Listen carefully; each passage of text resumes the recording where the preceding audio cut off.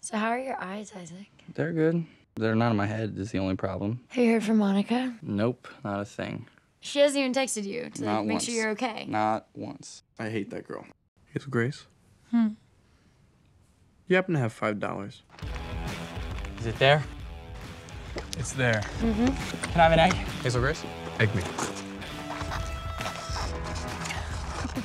All right, here we go.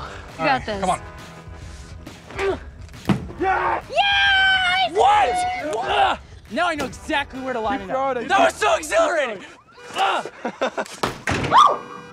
Oh, stop, stop, stop, stop.